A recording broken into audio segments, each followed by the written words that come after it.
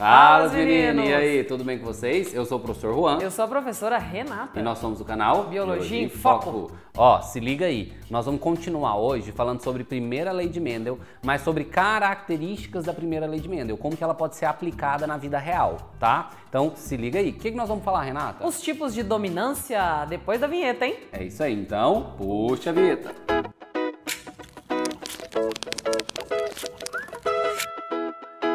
Ah, você que acompanhou a primeira aula, muito bem, você é um aluno nascido e chegou nessa aula aqui com uma base, né, Juan? Exato. Você que não acessou muito ainda, boa. clica ali na tag para você voltar à última aula e ter alguns conceitos sobre genética, tá bom?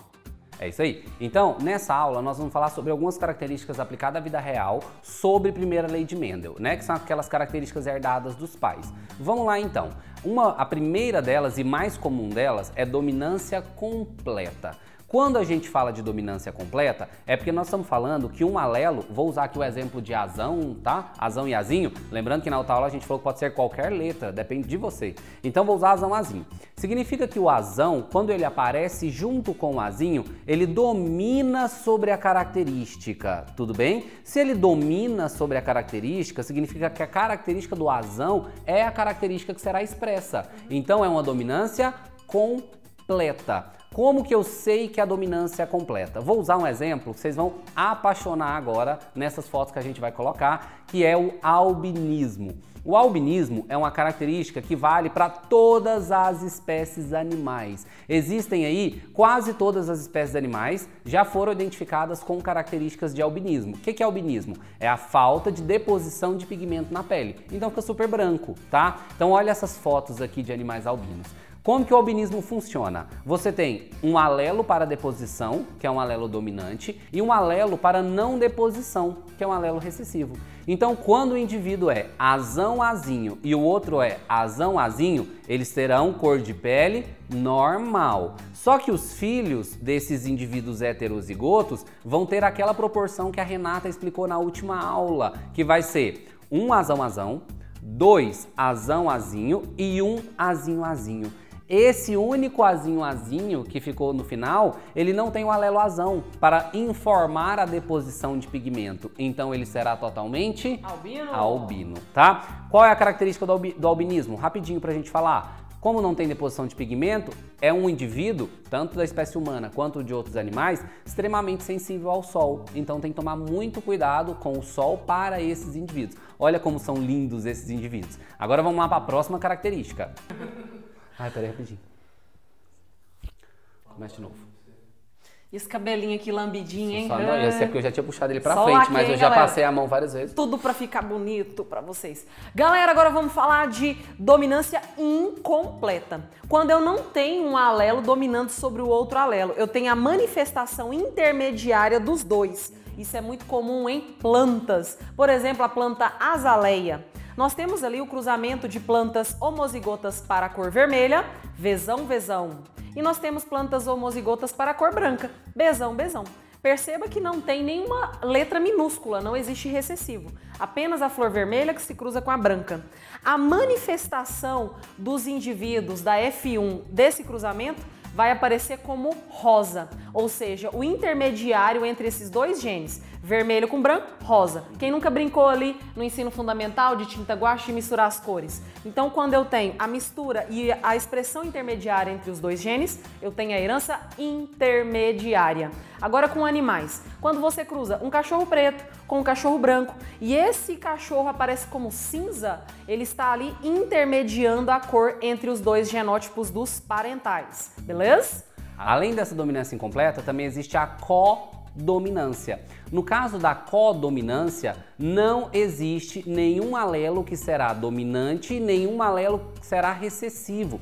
Por exemplo, na codominância, o que a gente vê muito pode acontecer tanto em planta quanto em animais. Usando esse mesmo exemplo da, da Renata para animais, se você tem um cachorro branco e se você tem um cachorro preto e você cruza esses dois animais, na codominância, os dois dominarão a expressão fenotípica. Por isso que eles são codominantes, de dominarem juntos. Então esse animal será preto com branco ou branco com preto. Ele vai apresentar tanto características brancas quanto características de mancha preta. Então ele é um codominante. Os dois dominam ao mesmo tempo. Então, por exemplo, pode ser Pzão para preto, Bzão, Bzão para branco. Se o indivíduo for PB, que é preto e branco, ele vai ser com cor preta e cor branca mesclado. Perceba então que tem diferença. Herança intermediária é o meio do caminho, a mistura dos dois genótipos. Na codominância, você tem a manifestação completa dos dois genótipos. Plus, Exato. os dois aparecem como heterozigotos ali, manifestando os genes dos parentais. Uma outra característica que existe são os alelos letais. O alelo letal, ele se expressa também pela, pelo encontro de dois alelos que quando estão juntos, normalmente provocam a morte do feto. Isso pode acontecer para a maioria dos mamíferos, tá? Vamos dar um exemplo aí de ratos. Você tem, vamos colocar a letra K. Você tem casão e casinho. No K, se esse casinho se encontrar com outro casinho, significa que esse feto não vai desenvolver. É uma morte do indivíduo na fase fetal, por isso é o alelo letal. Para o cruzamento de dois indivíduos heterozigotos, nós teremos um casão, casão, dois casão, casinho e um casinho, casinho. Para esse indivíduo que encontrou, com casinho, casinho, ele não se desenvolve na fase fetal. Por isso que é alelo letal. Na espécie humana, um alelo letal que a gente conhece é para estatura humana. É a acondroplasia. Então, no nosso caso, pa para a acondroplasia, se nós temos, é o contrário. O azão é o alelo que tem a doença, ou que representa a doença, e o azinho é o alelo normal. Então, para nós que temos altura normal, nós somos todos homozigotos recessivos. Azinho, azinho. Para os indivíduos que são azão, azão, o que, que acontece, Renata? Esse gene é letal. Inclusive, ele não faz parte da proporção genotípica, porque o indivíduo não nasce. Exato. E para os indivíduos heterozigotos, é extremamente raro que esse indivíduo sobreviva, porque tem o alelo azão, mas ele pode apresentar uma doença que é a acondroplasia, não é? O que é a acondroplasia, então? Dá uma olhada na foto dessa menina aqui. Ela é acondroplástica. Não. Acondroplásica. Ela tem acond... Ela é acondroplásica. Ah, não foi. Então, dá uma olhada pra foto dessa menina aqui. Ela é o que, Renata? Acondroplásica? É porque não saiu, tentei falar, não saiu. Quando você olha para essa menina, você vê que todos os membros dela têm proporção de tamanho. Então ela vai ter uma estatura muito pequena, ela tem 45 centímetros de altura, mas os órgãos, a estrutura óssea e toda a estrutura do corpo dela tem a mesma relação de tamanho, não é? Então tudo é muito pequeno. É uma doença extremamente rara, uma síndrome, né? Extremamente rara, então não é uma doença, é uma síndrome, desculpa, mas que essa síndrome é extremamente rara na população por conta do alelo letal. Esses indivíduos, eles apresentam a cabeça e o tronco em proporção de um indivíduo adulto normal, porém ele possui os membros encurtados. Lembrando que há uma, uma má formação óssea e cartilaginosa, então esses indivíduos apresentam problemas seríssimos né, nessa estrutura esquelética e dores muito intensas. Tanto que o alelo, se ele aparece junto, é letal para o indivíduo. Quando você cruza dois indivíduos acondroplásicos, ou seja, eles são heterozigotos, porque o homozigoto dominante é letal. Esses indivíduos vão gerar um homozigoto dominante, dois heterozigotos e um homozigoto recessivo. Lembra que o homozigoto dominante não existe, ele é descartado da proporção. Então você tem três resultados. Então, calculando o cruzamento dos parentais heterozigotos, eu vou ter dois terços de acondroplásicos e um terço de indivíduo normal. Então, essa é a proporção para gene letal, tá bom? A próxima característica que nós temos é a pleiotropia. O que é pleiotropia? A pleiotropia é quando o mesmo alelo condiciona mais de uma característica. Como por exemplo, o mesmo alelo, a azão, ele pode condicionar tanto a cor da flor quanto o tipo de semente, se ela vai ser rugosa, ou se ela vai ser lisa, ou se ela vai ser verde, ou se ela vai ser amarela, ou se a flor nasce na pontinha da árvore ou no meio do caule. Então essa é a pleiotropia, quando o mesmo alelo condiciona mais de uma característica característica. Tudo bem? E agora, finalizando as características dentro da primeira lei de Mendel, existem ainda os alelos múltiplos. O que, que é isso, Juan? Eles podem ser variações de um mesmo alelo. Por exemplo, para coelho a gente usa a letra C para representar a cor. O Czão vai representar a cor selvagem.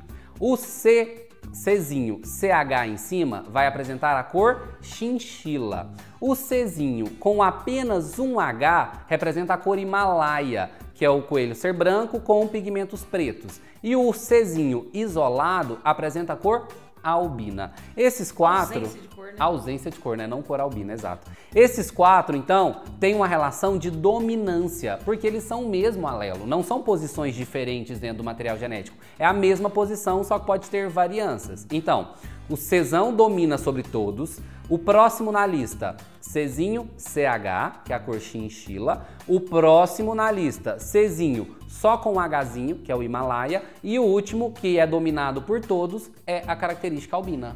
Então você entendendo essa ordem. Or... Ah. O Degraudo não sabe falar. Então você entendendo essa ordem de dominância, fica fácil para fazer um cruzamento, hein? Lembra que o cruzamento, os indivíduos parentais têm dois alelos e eu vou fazer aqui um cruzamento para vocês entenderem direitinho. Se eu cruzar um aguti ou selvagem heterozigoto para Himalaia, coloca aí, Czão, Czinho, H, com outro heterozigoto para Himalaia e albino, Czinho H, Czinho A, esses indivíduos vão dar proporções de coelhos diferentes, como vocês podem observar. Exato. Então, lembre-se, é o mesmo alelo. Então, o cruzamento ainda entra na primeira lei de Mendel. Você vai ter apenas quatro resultados no final. E para a polialelia, existe também a tipagem sanguínea. Dentro do sistema BO, você tem o alelo I, que pode acomodar tanto o tipo A quanto o tipo B, e o Izinho, que vai ser a ausência do A e do B, que vai se manifestar no grupo O ou zero. Então vamos lá, você tem três alelos, polialelos, para tipo sanguíneo ABO. IA, IB, Izinho. Quais são as junções para os tipos sanguíneos? O tipo sanguíneo A apresenta uma proteína na hemácia chamada aglutinogênio A. Exato. E esse indivíduo ele pode ser homozigoto no seu genótipo, IA e A, ou heterozigoto, IA e ZIN. O indivíduo B apresenta o aglutinogênio do tipo B na sua hemácia. Ele pode ser homozigoto IB IB ou heterozigoto IB Izinho. Mas ainda existe a junção do A e do B, que vai manifestar o genótipo IA e B, que é o tipo AB. Ele tem os dois aglutinogênios, o A e o B. E a ausência de tudo isso vai ser o tipo 0 ou O. Ele não apresenta aglutinogênios e ele vai representar o genótipo Izinho, Izinho. Lembrando que esses tipos sanguíneos, eles vão manifestar o sangue, que é o fenótipo. Então o tipo A apresenta proteína A nas hemácias, tipo B, proteína B nas hemácias. Tipo A e B, as duas proteínas na hemácia e o tipo O ou 0 não apresenta aglutinogênios nessas hemácias. É, exato. Lembrando que a hemácia né, é a célula que transporta gases na nossa circulação sanguínea. Então vai transportar oxigênio e dióxido de carbono, CO2, e o que a Renata acabou de falar é uma proteína que fica nessa hemácia. Essa é a grande diferença. Agora, preste atenção. Quando a gente fala de tipo sanguíneo, é necessário a gente lembrar de doação e recepção sanguínea. E dou uma indicação, quem nunca doou pode vir doar. Que não dói nada. Espera só um minuto. Nossa, cacete de agulha. Nossa. E isso tem a ver com outro fator que nós conhecemos como fator RH, que também entra na primeira lei de Mendel, só que é uma dominância completa. No caso do fator RH, a gente representa o fator RH pelo Rzão e o Rzinho. O indivíduo pode ser Rzão, Rzão, mostrando um fator RH positivo. Juan, Renata, o que que é o fator RH? A mesma coisa. É uma proteína de membrana da hemácia que foi identificada pela primeira vez no macaco chamado Rhesus. Exato. Então apareceu essa proteína RH associada ao ABO. Isso então ela mesmo. ficou com esse nome. E aí, o indivíduo pode ser então Rzão, Rzão, fator RH positivo. Rzão, Rzinho, fator RH positivo. Ou Rzinho, Rzinho, fator RH negativo. Não tem a proteína na hemácia. E quando a gente associa o fator ABO com o fator RH, a gente vai falar agora sobre esse tipo, então, de doação de sangue que você vai entender agora. Hum. Vamos lá, galera. No sistema BO existe compatibilidade e incompatibilidade de sangue. Quem começou esses testezinhos aí foi um rapaz chamado Denis, Jean-Baptiste Denis, ó, nome de rico, chique. E ele fez alguns testes é, inserindo sangue de carneiro no ser humano pela primeira vez. Ah, eu vou injetar ali um sanguezinho, tal, a pessoa tá precisando. É um- Vou pegar de um carneiro porque o ser humano ele é tomado de pecado. Então havia é essa, puro. é, havia ainda esse pensamento sobre mistura sanguínea. Qual Então, é o grande problema? o grande problema é que vai dar problema. Qual o problema? Problema. Filha, O seu português é o problema. Você tem fatores diferentes nas estruturas do sangue do animal. Proteínas diferentes, anticorpos diferentes. As células vão agir de forma diferente, né? Glicocálices, receptores. Então, quando ele injetou o sangue do carneiro na pessoa, o que, que acontece? A pessoa, ela reflete. Ela vai proteger o seu corpo contra aquilo que tá entrando. O que, que aconteceu com o povo que recebeu o sangue do carneiro? Eu morri. Morri. Morri. Morreu. Morreu. Esse rapaz, ele tirou um- uma pessoa, um homem da- do meio da rua que tinha problemas mentais e injetou sangue de carneiro nele três vezes. É claro que na última tentativa o indivíduo veio a óbito, então não é tão ético, né? Ele não é conhecido na história como é um, nada um ético, indivíduo né? ético aí com os primeiros testes. E aí vem um rapaz chamado Blundell que começou a fazer os testes de transfusão sanguínea em humanos. Alguns deram certo, outros não, né? Então o É. indivíduo morria. Morria. Por que, que o indivíduo morria? Porque quando ele tentou fazer em seres humanos, ele entendia que algumas pessoas recebiam e ficavam ok, melhoravam a qualidade de vida, e outras pessoas, depois de algum tempo que recebiam esse sangue, algumas horas depois, começavam a passar mal e depois de alguns dias morriam. E provavelmente eles imaginavam que não era por conta da troca de sangue, mas sim por conta da doença que a pessoa apresentava. Mas foi a partir desse estudo é que conseguiram entender então que os fatores sanguíneos e os fatores proteicos da hemácia, né, que é A, B, O ou RH, fazem total sentido na transfusão sanguínea. Quem teve essa primeira noção após a invenção do microscópio foi o nosso querido Lance Steiner, ó, nome de rico de novo. Aquele cara que ficou ali em um laboratório analisando a superfície da hemácia e ele detectou que existiam proteínas diferentes de acordo com pessoas. Então a tipagem sanguínea ela foi descoberta nessa época. Beleza? Então vamos lá, galera. O tipo A, ele tem aglutinogênio A, mas ele vai apresentar no seu plasma sanguíneo anticorpos contra o tipo B. Então ele apresenta aglutinina anti-B. O tipo B apresenta aglutinogênio do tipo B nas suas hemácias e aglutinina anti-A. Então o A não pode doar para B e vice-versa também não pode acontecer. O tipo AB apresenta aglutinogênio A e B na hemácia e nenhuma aglutinina no seu plasma, nem anti-A nem anti-B. Senão ele se auto autocombate. Ele vai combater as próprias células, as próprias hemácias. Então não pode existir a produção de anticorpos para o indivíduo AB.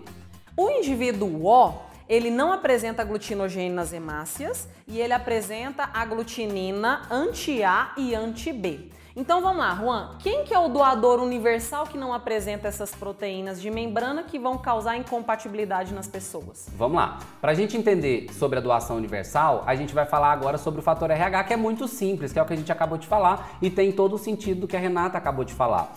Se a pessoa é RH positivo, significa que ela tem a proteína na hemácia. Se ela tem essa proteína na hemácia, ela receber uma célula que não tem proteína na hemácia, tanto faz, não é? Agora, se a pessoa é RH negativo e não tem a proteína RH na hemácia, significa que quando ela recebe um sangue que tem uma proteína RH, o que, que ela acha que é aquilo ali? Um agente infeccioso. Então ela combate aquele sangue RH. Então agora vamos entender. Se a pessoa for A positivo, ela pode receber sangue de quem? Ela pode receber sangue dela mesmo, que vai ser A positivo, ou ela pode receber sangue de A negativo. Tudo bem? Se a pessoa for A negativo, ela vai poder receber sangue apenas de A negativo. Por que, que ela não pode receber sangue de A positivo? Porque no sangue A positivo, ela vai ter a proteína na hemácia, RH. não é? O RH, a proteína do RH na hemácia. O B, a mesma coisa, positivo para positivo, ok. Só que positivo para negativo não pode porque produz anticorpos. AB é a mesma coisa e O a mesma coisa. Agora vamos entender como que funciona a doação universal e os receptores universais. Para que uma pessoa doe sangue e seja um doador universal, ela não tem que ter nada, não é, Márcia? Nem Eu a... ia falar é Márcia. É, nem massa. Para a pessoa ser um doador universal, ela não tem que ter nada na hemácia, não é, Renata? Então Nem ela não pode gluti- ter Peraí, de novo. Aí você fala. Eu não tenho oportunidade de comentar um assunto como esse, todo mundo fala, todo mundo fala, e eu não posso comentar nada. Não posso falar porque você, além de vocês ficar falando toda a vida, é, é- é matéria uma atrás da outra e matéria repetida e, e enfim. Para a pessoa ser um doador universal, ela não pode ter nada da hemácia, não é, Renata? Ela não pode ter. Nem aglutinogênio A, nem B e nem RH. Exato. Então, o doador universal é do tipo O negativo.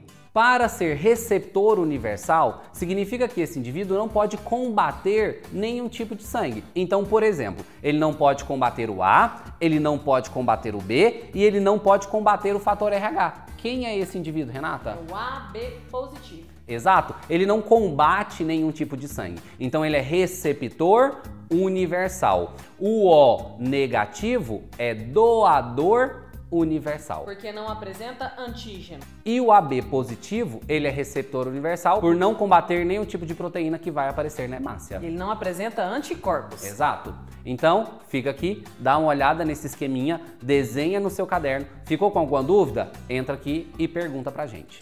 Galera, só recapitulando uma coisa. Existe o falso O, também chamado de efeito Bombaim, em que o indivíduo, na verdade, ele não manifesta nenhum aglutinogênio, nem A nem B, mas ele tem gene para isso. Só que acontece uma mutação numa proteína chamada H. Então, por exemplo, uma pessoa de genótipo A heterozigota e A izinho, ela vai expressar a sua proteína A na hemácia e a proteína H tem uma mutação que impede essa expressão. Então, o indivíduo sem aglutinogênio, sem o A, ele vai ser um O, só que o seu gene é para A. Então, ele é chamado falso O. Então, antes de você analisar aí se você é filho do seu pai ou da sua mãe, preste bastante atenção, que existe o falso O. Não vai sair falando por aí que você é filho do iFood, tá bom? Exato. Por que, que ele é chamado de efeito Bombaim? Porque a maior população que tem esse tipo de sangue é encontrado na Índia, né? Então as pessoas lá apresentam então, a maior proporção, mas fica ligado aí e nessa relação que a Renata falou. E você que terminou essa aula, cumpriu ali todas as suas anotações e vai passar em primeiro lugar no vestibular, amém? Você eh, tem que conhecer uma plataforma chamada Iolê. Hum, essa plataforma, ela tem exercícios que você pode treinar e olhar a base dos seus acertos e erros e fazer ali uma avaliação diagnóstica, tanto para passar no vestibular quanto para passar em concursos, tá bom? São várias matérias diferentes, o link tá aqui embaixo, ó. É, não deixa de acessar, hein? Exato. Até a próxima. Tchau.